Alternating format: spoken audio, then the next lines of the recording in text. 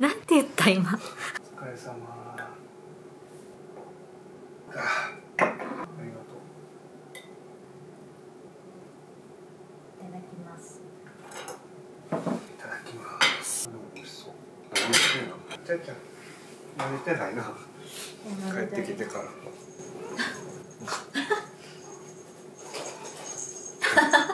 なんで逃げんのって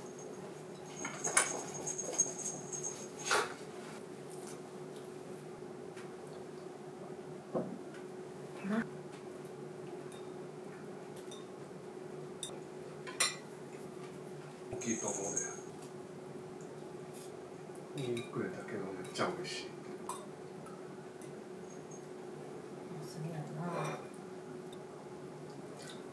出たもう昼過ぎぐらいにうん。吉村さんがうん。国に緊急事態宣言を発令してくれっていう要請をしただけまだ。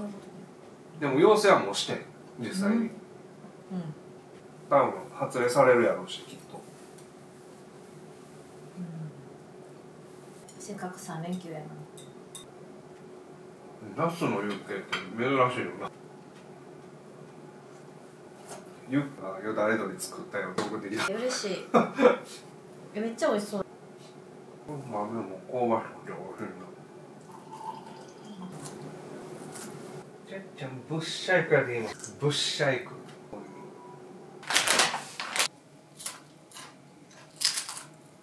ルシーやけど結構お腹いっぱいになったわ。食べてもよろしい？いいよいいよ。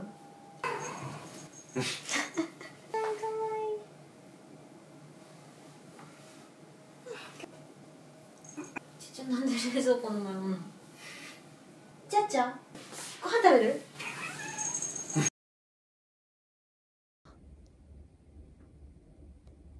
ちゃっちゃご飯食べる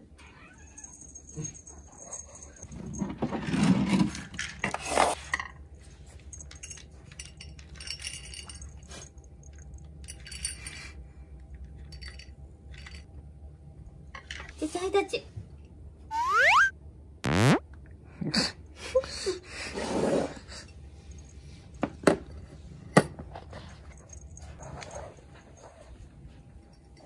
美味しくなれ